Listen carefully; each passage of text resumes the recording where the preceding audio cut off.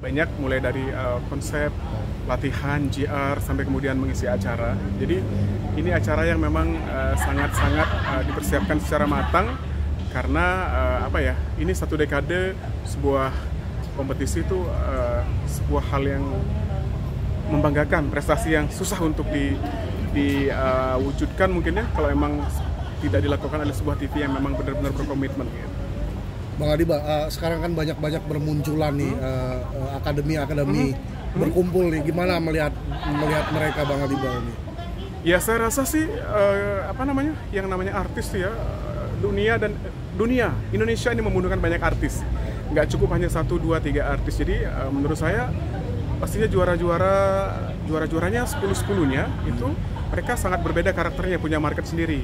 Di samping itu yang tidak juara pun memang mereka juga banyak yang bagus gitu. Jadi saya rasa uh, asal mereka konsisten berkarya terus dan uh, tidak kemudian vakum saya rasa rezekinya akan ada dari mana-mana saja. Tapi melihat Lesti hari ini gimana nih Bang Diba? Ya Lesti dengan persiapan yang minim ya karena uh, dia hanya bisa JR di hari H gitu. Uh, menurut saya dengan jam terbang yang dia punya semuanya aman sih ya karena uh, salah satu yang membuat artis itu hebat adalah dia kemudian bisa adaptasi dengan segala situasi yang ada dengan banyaknya konsep yang susah-susah kemudian bisa dia bisa masuk uh, ke dalamnya saya rasa itu uh, salah satu uh, kecerdasan dia sebagai seorang penyanyi soal tampilnya duet dengan Judika uh, sendiri seperti apa nih bang menurut abang?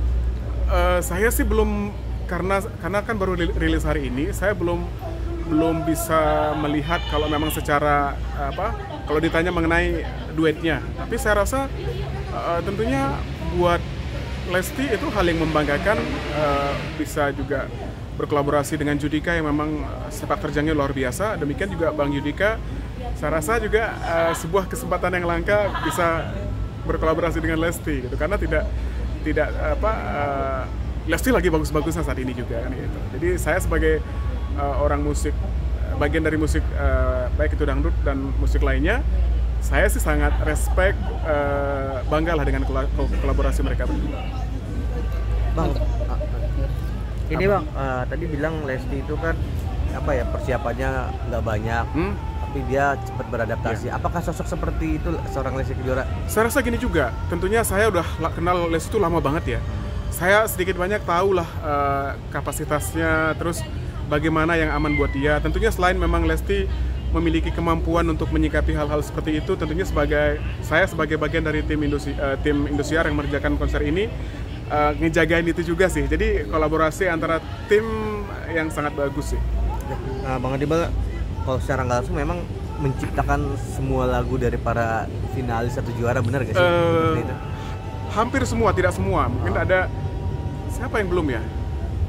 Epi Mas Samba saya belum ada kebanggaan gak sih Bang Adibal dengan apa yang Bang Adibal raih di, bisa dikaryakan oleh para penyanyi-penyanyi Iya pasti ini? pastinya lah. Maksudnya uh, saya rasa semua orang yang berpo, uh, yang berpo, yang berprofesi sebagai komposer kemudian berikan kepercayaan untuk menciptakan sebuah karya untuk para juara-juara uh, itu hal yang memang uh, uh, menyenangkan dan nggak uh, mudah didapat ya. Tapi sebenarnya kalau secara saya pribadi menciptakan lagu buat siapa pun uh, saya tidak membeda-bedakan sih artinya tidak berarti kemudian untuk juara saya punya perlakuan khusus. Dengan yang tidak juara uh, diabaikan nggak juga. Jadi kalau secara kebanggaan iya. Banggalah dipercaya. Itu sebuah, sebuah kepercayaan yang sulit. Tapi uh, dalam berkarya saya sih melakukan segala sesuatunya dengan sepenuh hati dan uh, terkonsep ya. Mau itu juara ataupun tidak. Berarti masih ingin terus menciptakan karya-karya untuk para penyanyi saat ini Bang Adibal? Ya pastinya karena itu menjadi menjadi hobi dan juga pekerjaan saya uh, suka tidak suka itu adalah hal yang menyenangkan yang untuk yang bisa dilakukan sampai saat ini dan seterusnya Insya Allah. Bang, kira-kira seperti ada nggak nanti nextnya seperti yang abang udah ngeliat nih dari idol apa namanya dari akademi sekarang ini hmm. seterusnya seperti Lesti lagi layaknya Lesti. Saya rasa tidak tertutup kemungkinan ya karena sebenarnya hal-hal seperti yang uh, kolaborasi antara pop dan dangdut, terus uh, kemudian ada penyanyi dangdut yang sangat bisa uh, bersinergi dengan penyanyi pop dari dari dulu juga sudah banyak. Artinya dulu kita melihat uh, Roma Irama ya, terus melihat Umi Elvi Sukaisi, uh, Ike Nurjana, terus kemudian Iis Dahlia.